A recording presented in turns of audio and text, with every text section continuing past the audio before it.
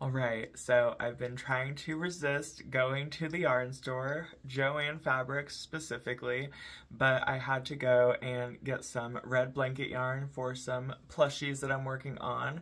So I just wanted to go, I just kind of wanted to like show you guys my yarn haul, if you will, so check it out. Okay, so I just literally went to buy just this one skein, but I just couldn't help myself because the deals were too too good. All right, so I got two things. A Bernat blanket, red, for some cherry plushies and strawberry plushies, and I've got to make a tomato for someone, so thought I'd stock up on this. And this was buy two, get one free. So I knew that I had to make a peach or finish a peach at some point, so I was like, I'm just gonna get this.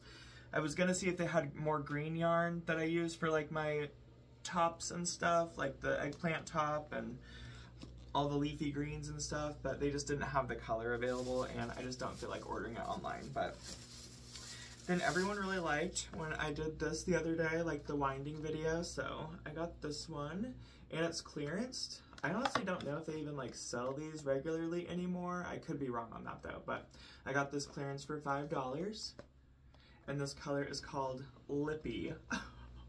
Isn't that funny? All right, cool.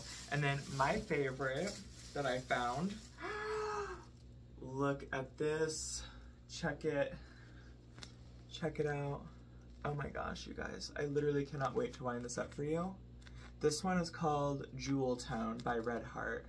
It's literally giving me like Sally vibes Oh, I love it so much. Cannot wait. But yeah, I'm excited. I think with the other stuff, I'm gonna make some hats, just some quick stuff, you know, so we'll see.